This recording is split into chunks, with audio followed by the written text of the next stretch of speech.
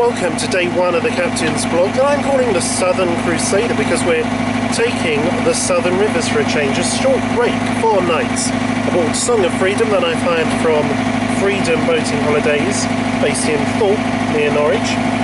Uh, we've just recently set off and we've just uh, behind us come underneath the Postwick Viaduct. So to give you an idea of where we are, we'll be heading possibly to Rockland Staithe uh, for this evening today, as always, is first takeover day. It's not the, the biggest of, of cruises, but hopefully we'll be covering most of the southern rivers. Uh, we'll be going, planning on tomorrow, going to Oulton Broad. Uh, that's uh, Sunday, Easter Sunday, and Bank Holiday Monday we'll be taking in the delights of Beccles. We've uh, phoned ahead and booked at both yacht stations a Uh, then after Beccles we'll stake back up again and we'll be heading towards Loddon. Um, maybe spend Monday evening at Loddon. Tuesday evening is going to be spent at uh, Surlingham Ferry and we've booked a mooring and a table there so quite planned. Uh, difference for me is normally when I've come down on the southern rivers it's from the north. Um, so you come down for two, three days and then head back up towards the north. Uh, whereas of course this time we'll be completely on the southern rivers and I'm sure that if I was on the southern, oh, sorry on the northern rivers at the moment, Easter weekend, it would be very very busy. Well let me tell you, down on the southern rivers so far, the only boats I've seen have been private cruisers and uh, things are looking nice and spacious. The boat is Song of Freedom. It's uh, an ex-Aston cruiser built by Aston Boats. I wonder if it was originally out there their Beccles or Loddon base. And um, although she's an old girl, she's got a lot of character to her, a lot of nice warm wooden tones inside, but complemented with modern, you know, carpeting and upholstery. The steering is old-fashioned but very smooth and very easy. There's a trusty BMC 1500 under the cabin here and for a compact boat 30 foot long and just over 11 foot wide it's got a lot of space in it. There's a centre cockpit so although it's not the best of Easter weekends uh, as far as the weather is but when is it usually um, you can have the canopy back as I've done here put the jacket on enjoy some outdoors. So I'll be updating you as and when. I'm not alone this time I'm with my father and um, we're just taking a nice easy cruise. As I said earlier, probably up to Rockland Staithe and maybe go to the New Inn for this evening. Until more happens, more as it happens. So we're not far past uh, Hall, the pub, and Brundall, the Brundall Bay Marina. And uh, I should point out, by the way, that for the last week I've had a horrible cold.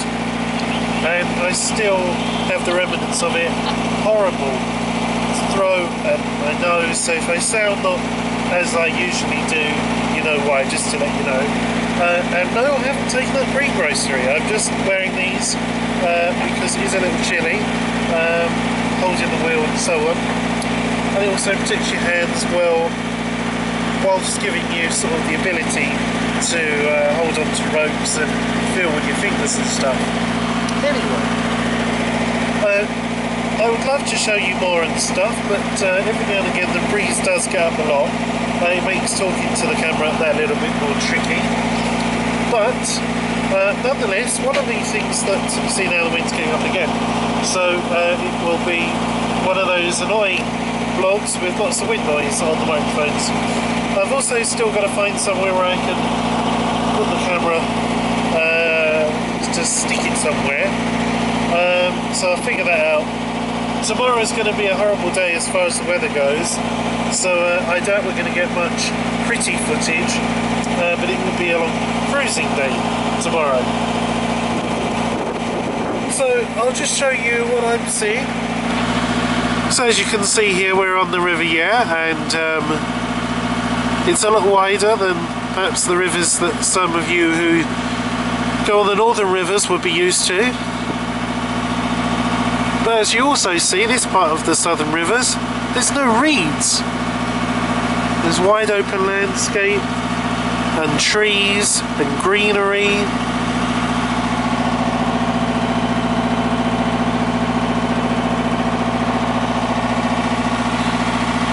So the southern rivers are not all boring.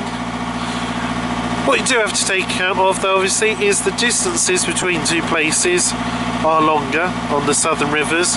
For example on the northern rivers, you know, Wroxham to let's say for example Horning, just about an hour's cruise.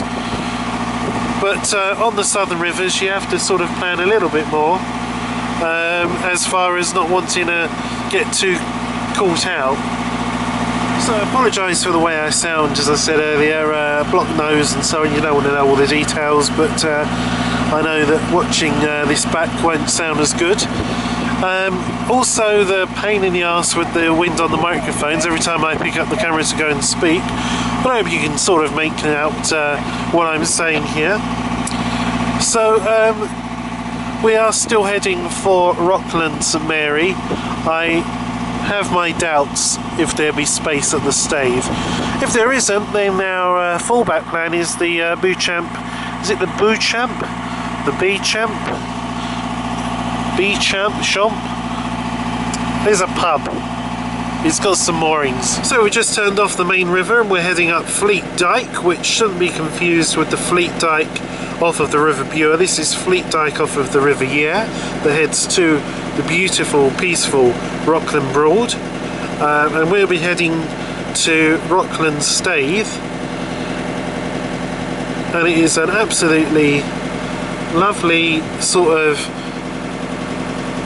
the difference between the width of the Yare and the wind and you know the private cruisers churning up the water and so on and so forth and then turning off and coming up here and just one of the things about the Southern Rivers, what I've noticed, you really do need your wits about you. Uh, both, you know, keeping a lookout for your port, your starboard and ahead, but more particularly as well, your astern. Because of these private, not all, but a lot of them, sports cruisers will come up fairly quickly behind you. Treating the five or six mile an hour speed limit as more an advisory for them you know, as if to say, I've spent a great deal of money for this boat. This is a performance boat. Six mile an hour just doesn't cut it for me. I've got my engines to think of. I don't want my bores to be glazed too quickly. Um, yeah, that's fair enough. But uh, when they come up behind you and then scoot off into the distance, uh, it is a little bit disconcerting.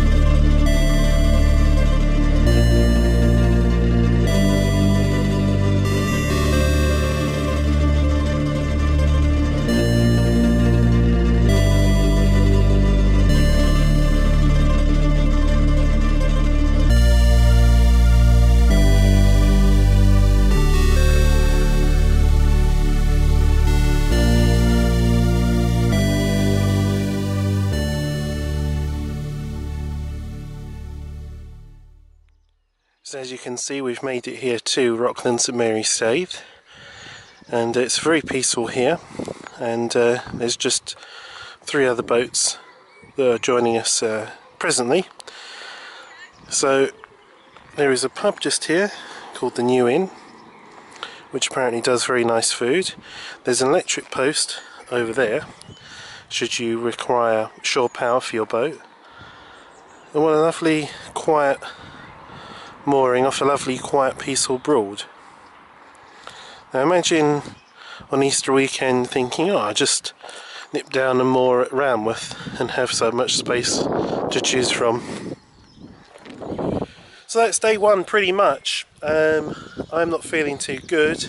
Uh, the boat's really actually uh, warm and comfortable. We'll do the usual, you know, talk through the boat and all the rest of it at some stage. But for right now, I'm going to have a drink and uh, do some unpacking. And um, then we'll do the proper sort of start of the holiday we can do tomorrow for day two. So if you have been, thanks for watching.